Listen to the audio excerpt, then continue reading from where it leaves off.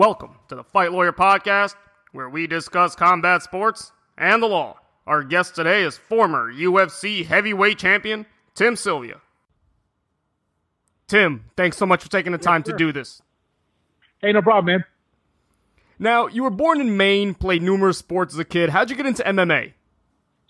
Kind of fell into it, to be honest. I, um, I, you know, I did karate growing up, and um, I started. I wrestled in high school, and uh, all of a sudden, this UFC thing kind of popped around, and I'm like, hey, that's that's awesome. I started watching it, loved it, and had it had the opportunity to start uh, doing some grappling and stuff under Marcus Davis. Um, you know, he was going out down to Boston and training with some guys down there. When he was coming back here, he was teaching me and some of the guys. We all worked together at the um, at the Bounty Tavern. Marcus was like the head bouncer, and um, so we started learning that way. And as it progressed, you know, there was opportunity to go to Rhode Island and do an MMA fight that was open hand, one seven minute round. I said, sign me up. I'll see if I can do that. I like that sport. I went down, knocked the guy out in 17 seconds, and I was hooked. And you mentioned Marcus Davis. How'd that come together? Uh, Marcus was a you know a big name back in Bangor, Maine. He um, that's where you know I ended up moving where I was playing semi-pro football, and we we were working together. So you know they just basically we were doing it for better self-defense and and um, it jiu-jitsu is a better way to to handle people in a bar. You know if they're drunk or whatever you know, you slap somebody in a choke real quick and say, "Hey, I'm going to put you out if you don't if you don't fucking walk out the door." So they would walk out the door or they would go to sleep. Better than hitting somebody or kicking someone, you know, knocking them out that way and stuff. So you mentioned you were competing in some amateur tournaments, some grappling tournaments. How'd you make it over to the early uh, to the UFC in the early days? Um, I started, um, you know, picking up the progress. I won the big Maine skirmish uh, the absolute champion. I was the uh, the gi champion, uh, the no gi champion, and then the absolute champion, where anybody could enter. And I submitted everybody. And so we're kind of like, well, you actually aren't too bad on the ground either. You have a boxing background, a karate background. But I was just struggling trying to find, uh, you know, I'd show up at fights and guys wouldn't fight me. I'd walk in, you know, like, I ain't freaking fighting that guy. He's huge. So then I uh, was running out of training partners and stuff, and you know went to my first UFC in New Jersey and met Miletich and those guys, and they you know they kind of welcomed me with open arms. Like Jesus, you know Pat was like, "You're a big son of a bitch. You're big enough to eat hay and shit in the middle of the road." I'll never forget that comment. And um, he's like, "You asked if he asked me if I trained." I said, "Yeah, you know a little bit, but I you know I struggle finding training partners." And he's like, "Come to Iowa. We got plenty of training partners for you." So, you know, he gave me his number. We stayed in contact, and I'm, I think it was probably three or four months later, I went to Iowa for two weeks to train. And you mentioned your size, you know, six eight. You were the biggest guy in most fights. Uh, how'd that help you early on in your career? Was it easier to get people to train with? Was it easier to get opponents? Harder to get opponents? Oh, it was definitely hotter. It was, you know, guys would, you know, they they they they wouldn't see me in in person, but you know, like six eight, you know, three hundred pounds, whatever. You know, back then I was playing semi-pro football. I was, you know, I I I think I was a pretty good athlete. So you know, you know, when you walk up and you impose your, you know, six foot eight, three hundred and thirty pounds on a guy that's six foot, he's like, excuse me, he's like, holy shit, six foot eight is big. so they they would change their mind real quick. And so your training partners, you were training under Pat Miletich. You said that a second ago, one of the top MMA gyms at the time. Why do you think Pat was able to procure uh, such high quality fighters at that early stage of the sport, relatively? um, I think because Pat knew iron sharpens iron. Uh, to be the best, you got to train with the best. You got to surround yourself with people that are better than you. So Pat would travel all over, you know, the Midwest to find boxes that were better boxers than him, find kickboxers that were better kickboxers than him, and jujitsu guys that were better jujitsu, wrestlers that were better wrestlers. And he knew if you got beat up in the gym and you were training with these guys every day, that the gym is a lot tougher than an actual fight. So, you know, people started seeing the success at this, and um, basically he built it and they came. And it was tough financially at that time in the sport. You were training with guys like Matt Hughes, who were at the top of the of the list back in the day. Did you just look at them and say, "Hey, one day I'm gonna be up there," or you know, the money's not very good right now. I hope that at some point it gets better. Money was never a drive for me in this sport. You know, I did it because I loved it. I enjoyed it. It was fun. The camaraderie we had at our gym was awesome. Um, and to be honest with you, being the the UFC heavyweight champ never really, um, never really was a focus for me. My focus was to get in the UFC. Um, and then once I get in the UFC, they're like, "Hey, uh, you're not too bad of a fighter. You want to do a title fight?" We're like, "Yeah, sure. We have nothing to lose. I'm my second fight in UFC. I'll fight for the title." And, and it just kind of happened. We didn't even realize, you know, that it was going to happen as easy as it did. And the sport wasn't as popular as it is now. Do you think fighters back then had that drive in them, that natural commitment that fighters today maybe don't have? They chase the limelight or the spotlight or something else. Yeah, I don't think the sport is is, is what it used to be, and um, I hear that every day, if not once a day, that the sport's not what it used to be. People don't like it as much. People don't watch it anymore. Um, you know, back in the day when we were fighting, we were fighting. You know, there was six events a year, so every card you look forward to, you knew exactly every single fighter on it it wasn't oversaturated. It wasn't watered down. I mean, shit. Today, nowadays, you got A, B, and C level fighters fighting because they have so many shows. Um, it's just it's just watered down. It's not as good as it used to be. And Pat's gym ultimately fizzled out in terms of being one of the best in the business. Could they just not recruit top fighters, or what was it related to? Um, no, the main thing is is we all got older and um, you know, guys started going their separate ways. Guys had opportunities to to make money at other gyms, and guys, people were throwing money at all all of us. You know, saying, "Hey, we'll give you, you know, a hundred thousand dollars. You start your own gym in St. Louis. Hey, we got a place in Salt Lake City. Come here and, and be the head trainer. We'll pay for your rent, your vehicle, your food. Um, come to in Nebraska, open your own gym." And, and it just kind of happened that way. And you know, Pat was at a point in his, you know, he's done fighting and um, you know, the IFL kind of helped out and he was paying his wages, but he had the opportunity to to better himself and better his family in commentary, to where he could make a really good living and not hurt his body at all because his body's been banged up for so many years, and he took the opportunity, and I don't blame him. I would have too. You know, him being the head coach. You know, once Pat kind of stepped aside and, and started doing um, the commentating and stuff like that, you know, guys just like, well, Pat's not around as much. I need more attention, or I need, you know, more guys or whatever. And you know, as we get older, I had no interest in in building a gym or doing anything like that. I, you know, once I kind of got out of the sport, I wanted to be out of it.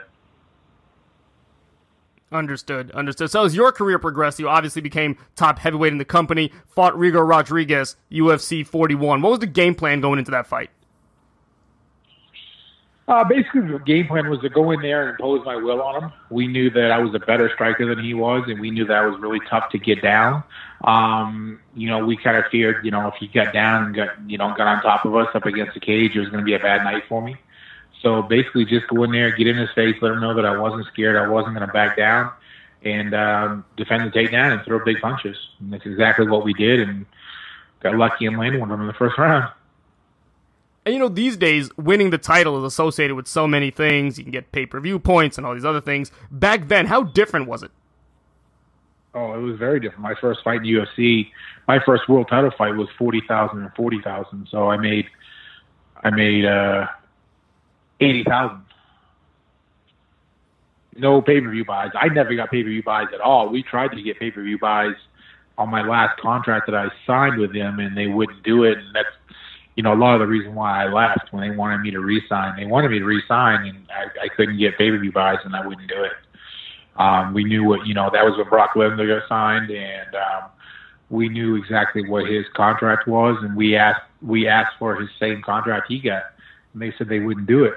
So then my return to that was, well, okay, I'll sign the deal you want, but which was going to be a hundred, a hundred, which is what I ended on um, 100,000 to show, 100,000 to win. He was getting 300 to show, 300 to win, and pay per view buys.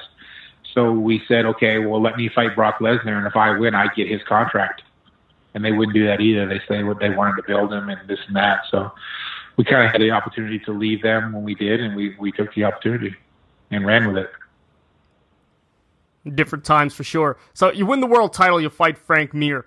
You know, when your arm broke and, that reaction was so nonchalant, was it kind of just adrenaline or, were you just displaced from the moment in a bad injury like that? I was pissed the fuck off.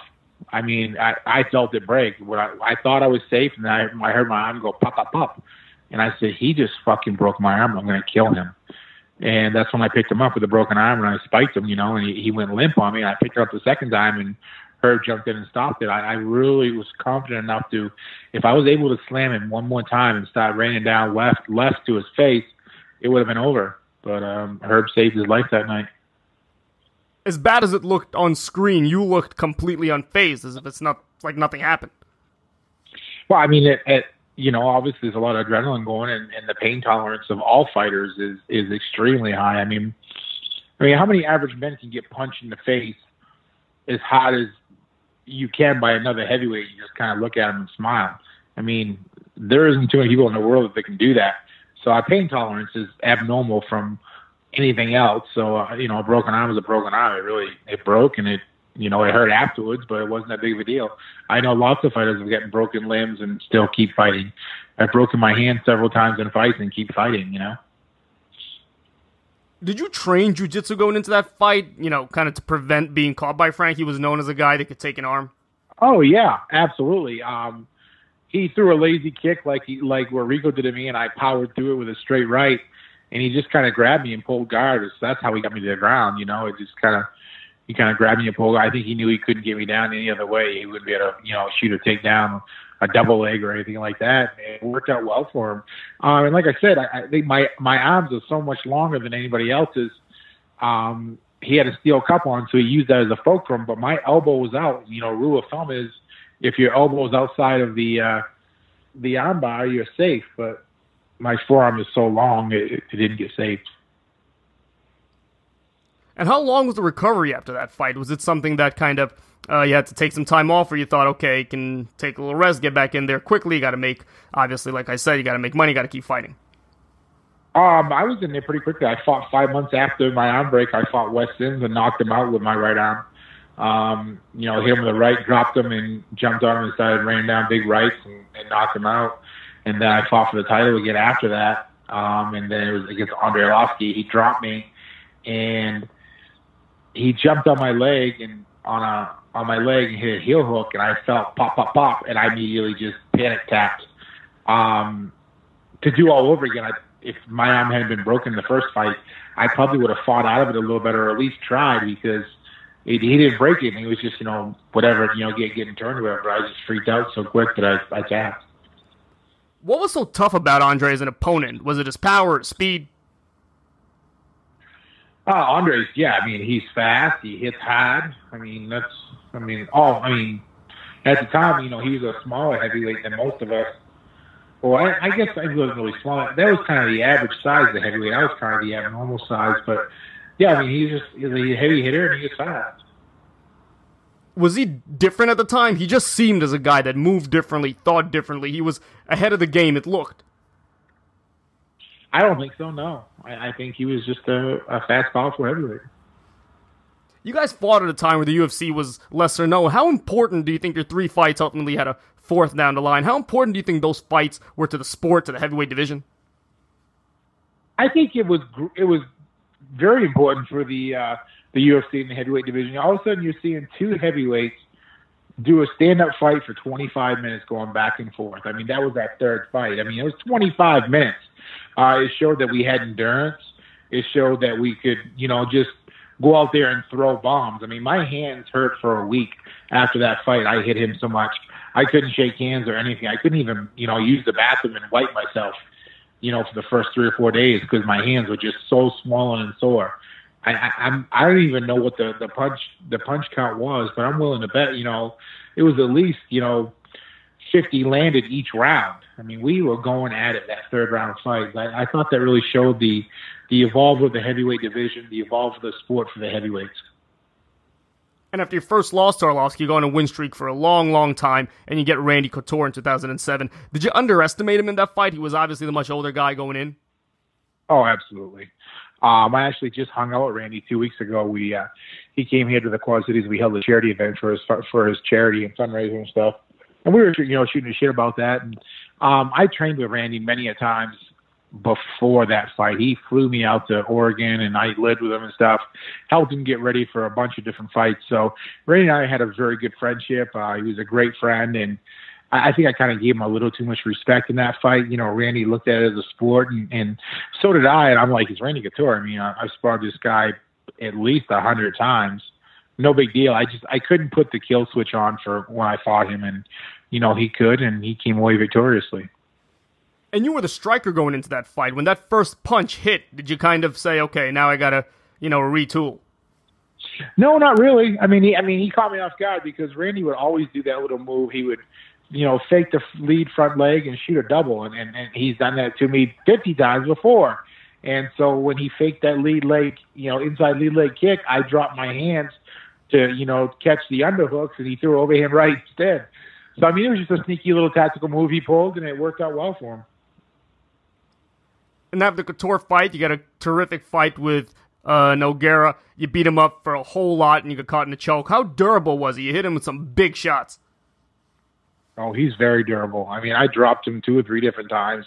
I couldn't believe he was still in there, and, and you know, I made a simple mistake, and he capitalized on it. And congrats to him.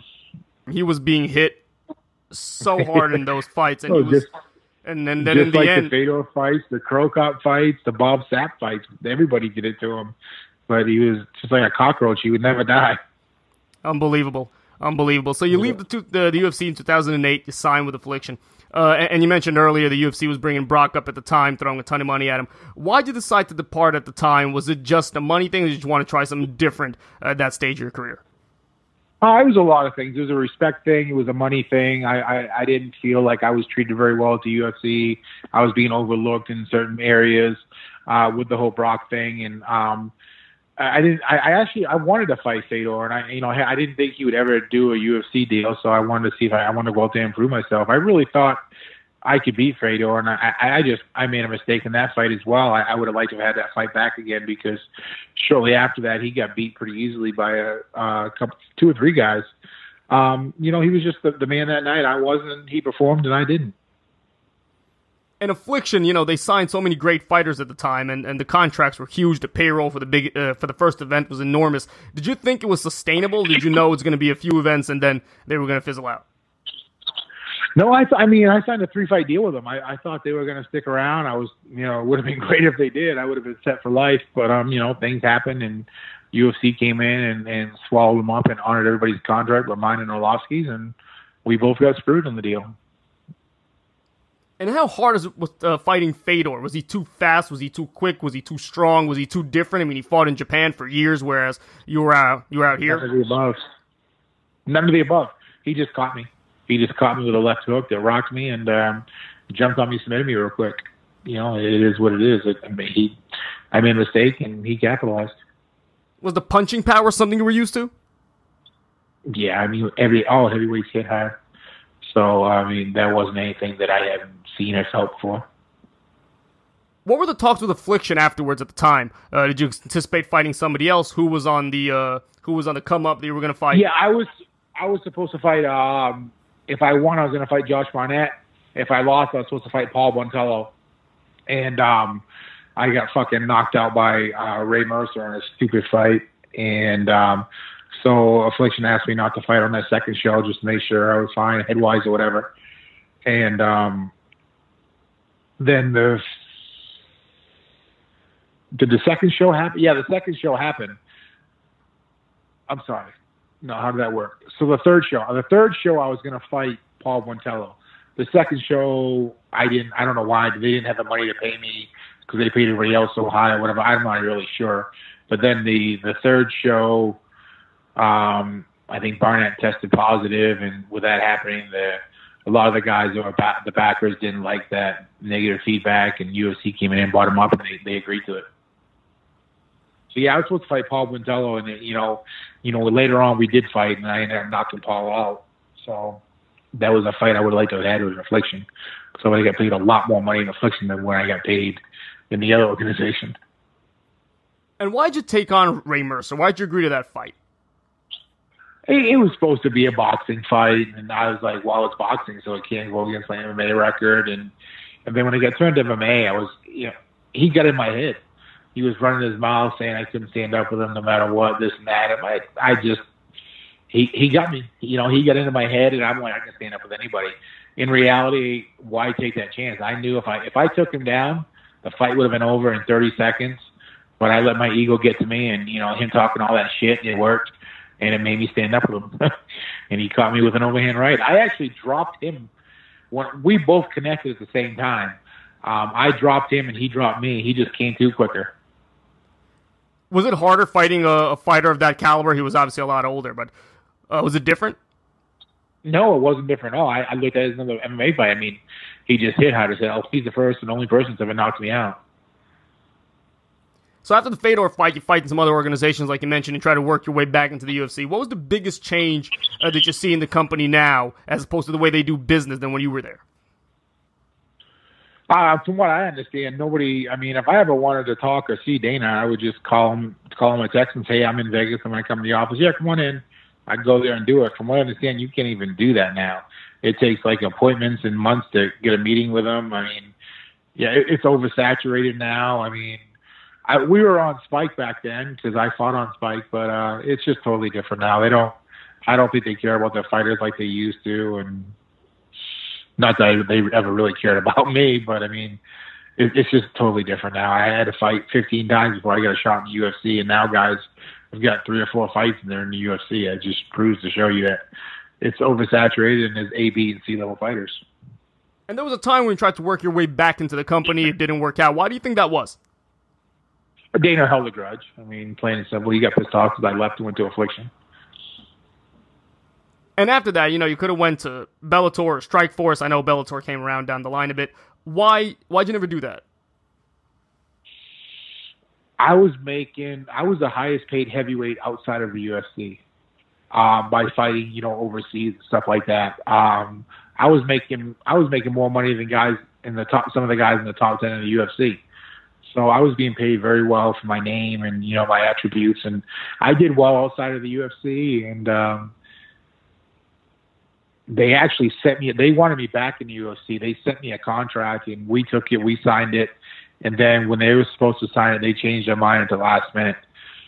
So uh, I kind of got burned again by them. A lot of people don't know about that about them, but that that did happen. You transitioned some other endeavors. What are you up to these days? Well, I have a hunting show that's going to be airing on the Sportsman's Channel. It's currently been airing the last three years on Pursuit Channel. Um, you know, we're obviously on YouTube and all social media outlets, but I do a lot of hunting. I hunt over the Midwest. I, you know, I, I like I like deer hunting. I do some turkey hunting, some bear hunting, but you know that's mainly what I do. And I now I currently have a seven year old son, and I uh, he's gotten involved in wrestling. This will be his third year wrestling, so I, I'm an assistant coach for his wrestling team as well. So you know, it's kind of like the next generation. I'm, I'm looking out for my little boy. I'm being a dad. And I'm doing a lot of hunting. I'm working on the hunting show. And there are fighters, you know, that have such a hard time transitioning to other things, whether it's TV or broadcasting or acting. Why'd you? Uh, why were you able to make that transition? Um, I've always been a hard worker, you know, and I've all, I've been in the hunting industry for a long time. I've hunted my whole life, and um, I kind of set it up back when I was UFC heavyweight champ, um, when I got into the hunting industry, people are asking me to be on their hunting shows. What would they would cost to, you know, if they could pay me and sponsors want to pay me, and I'm like, look, I, I don't need your money right now. I don't, I don't want your money. I go, just think, just remember me. You know, eventually I'm going to be in the hunting industry, the outdoor industry, and I'm going to need sponsors. I'm going to have my own show, and I, I appreciate it if you just think about me and and stand by me and support me then. And and I was very fortunate enough that I got with some great sponsors, and that's exactly what they did. And you mentioned your kid does some wrestling. If he ever wanted to go into MMA the way the landscape is now, what would you say? Um, I, you know, I'm gonna let him do whatever he wants. I'm gonna try not to let him fight just because I don't need him to fight. A lot of people, you know, want their kids to fight because they want to live live through them because they couldn't do it. Well, I did it. I was the best of the best in the world at one time. Um, you know, my body is all stove to shit. I'm all beat up. I'm sore every day, and I just don't want that for him when he's 40. So, you know, if uh, I'm going to try to say, hey, look, man, you you you know, see how much pain I'm in, how I'm bouncing around. Let's let's maybe think about something else. When you look back at your career, obviously such a such a great career. What was the top moment? What do you look back now and say, wow, that was something that I'm really happy I did? I, I think winning the title the second time um, was the biggest achievement, just because I had to work my way back to that position to be number one contender. I had to beat a guy that was unbeatable, that everybody was scared of, who who has knocked pretty much everybody out that was in front of him. Um, and then I went out there and knocked him out in the first minute and a half. I think that was a, the biggest achievement for me was winning the title the second time do you watch the sport a lot now? Do you take an interest in it? Yeah, yeah, I I love the sport. I I, I will always watch the sport. Um, I still have friends that fight, so um, yeah, I definitely watch it. I watch all the free the free ones, obviously. Um, I will not pay for a pay per view. I just won't. I refuse to. So if somebody else pays for it, I'll watch it. But yeah, I won't buy a pay per view. You know, Stipe's the, the big dog right now. I still think he is. Uh, as far as anybody else, I, I don't see a lot of great talented heavyweights. I, I I've beaten I think a couple that are currently still fighting. Brandon Vera is like the one FC heavyweight champ, and I beat him. Ben Rothwell is still fighting. I beat him. So I you know I think if I was in the UFC today, if I was healthy, I could possibly be in the top ten, maybe probably the top twenty just because I know Arlovski's still in there and stuff, and Josh Barnett, and so I, I just I can't get healthy. My knees are shot, and I'm always in pain. And you never got into coaching or doing anything else in the sport. Why is that? I kind of figured once I stepped away, I stepped away. It, uh, it's not it's not for me. I just I mean I I I don't mind helping people out and stuff like that, but I just can't commit to it every single day, twice a day. I have things in my life that I want to do. I retired for a reason. I have a son now, so you know he takes precedent over anything. Understood, Tim. It's been so great of you to join us. Where can people go to find out more about you? How to get in touch with you? Obviously, you're gonna hit me up on all social medias. You know, Hit Squad Outdoors with Tim Sylvia, uh, actual Tim Sylvia itself. Uh, we have the YouTube channel. My show uh, airs on Outdoor Adventure Network on Roku. It airs on Pursuit Channel. Uh, the first three seasons, and now uh, January 31st 6 p.m. on Saturday nights will be the first show on the Sportsman's Channel this year. Very nice, very nice. Tim, once again, thanks so much for taking the time to do this. Hey, no problem, man. Thanks. And that's our interview with Tim Sylvia. I hope you had a good time. Thanks so much for listening. My name's Dmitriy Shakhnevich. If you want to learn more about me, please visit www.dshaklaw.com. And this is the Fight Lawyer Podcast. Till next time, folks.